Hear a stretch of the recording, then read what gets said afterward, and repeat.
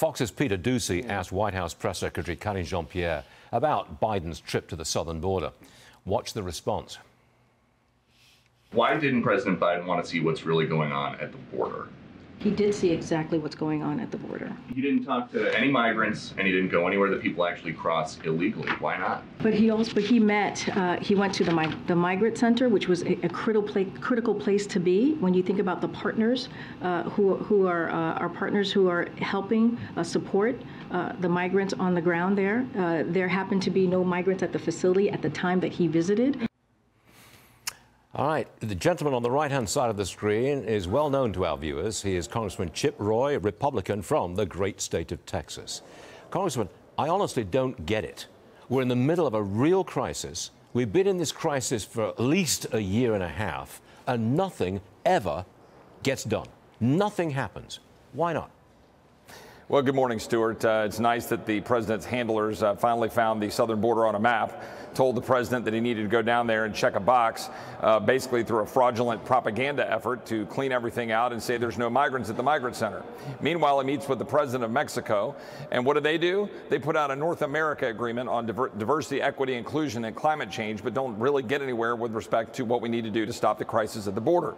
Then you got the United Nations, which I don't know why we give them $7 billion to uh, tell us what we need to do about human rights, because that does nothing for the 53 people who died in a tractor trailer in San Antonio, which I represent. The migrants who are dying, the thousand who died along the border, who've died on the Rio Grande, who are sold in the, the tens of thousands sold into the sex trafficking trade.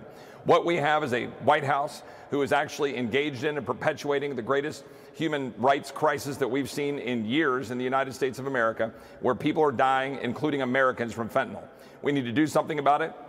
So I introduced H.R. 29, uh, the Border Safety and Security Act. I hope we'll move on it the week after recess. It would require that we detain fully or turn away uh, at the border, which is basically consistent with our existing law, but we try to force this administration to do what they're supposed to do to fix the problem. It would stop the flow. We would still be able to deal with asylum claims, but you got to detain or turn away, and that's what we need to do. I hope it makes progress, Congressman. And I, I, may I just change the subject for a moment? This is very Sure, much Stuart. a financial program. And as I understand it, you want to ban members of Congress from trading stocks. You have a proposal for that. Do you want to ban all trading completely? No, I think we need to have the conversation. In, in 2020, Abigail Spanberger, a Democrat from Virginia, and I introduced legislation because I think we need to recognize the American people are tired of seeing members of Congress uh, making pretty significant profits while they're voting on the very policies that affect the corporations that they're meeting with on a regular basis. I think we can find a way to have members not have to get in a worse position, get here, put their uh, money into broadly traded funds, uh, maybe a blind trust, although those are complex. We need to work through it. Maybe we only eliminate the buy side, right? And then make the sell side transparent.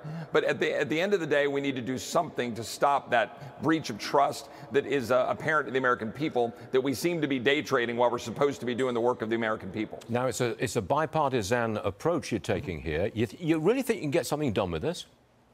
I think there will be some changes. I mean, look, I don't know if it'll be the exact language that Abigail and I introduced, but we're having conversations on, on my side of the aisle. We're, we're talking about what we need to do. Uh, it's important the American people trust that we're making good decisions for them Sure. and not just for ourselves. That's one item where you can get a bipartisan agreement, one of very few, I suspect. Uh, Congressman, great to have you with us on this show this morning. Thank you very much, sir. Good morning, Stuart. Take care. Yes, sir.